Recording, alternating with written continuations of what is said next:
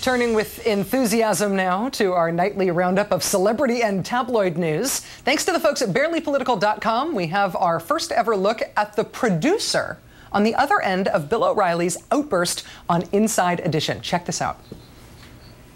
That's tomorrow. And that is it for us today. Okay, I don't know. Uh, just read it, Bill. Whatever it is, it's not right on the teleprompter. I don't know what that is. I've never seen that. I know you haven't seen it because you have the IQ of a turnip, you hapless gorilla. Just read it. Yeah, I can't read it. There's no, there's no words the on words it. are right here. What's the matter with you? Are you blind as well as stupid? How can someone have a head that large without anything in it? Is it just fluid up there? And what are you doing with that hair? Did you just blow dry your scalp until it resembles a coconut? Is that what you were going for? There's no words there. To play us out. What does that mean, to play us out? Have you ever read Flowers for Algernon? You remind me of the guy in that story before he got smarter. You remind me of Lennie from Mice and Men because I think I should take you outside and shoot you before someone else has to kill you for being so stupid. I don't know what that means. It means you're so dumb, you're practically inhuman. You're like a baboon, but less clever. What does that mean? I hate you so much. All right, go. Don't go. yell at me. I'll bounce this binder off that half-deflated basketball you call a face.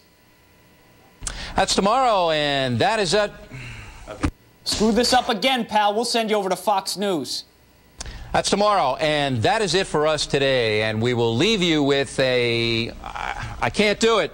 You are mentally handicapped. We'll do it live. You can't even get it right after five takes. Why would I agree to do it live? We'll do it live.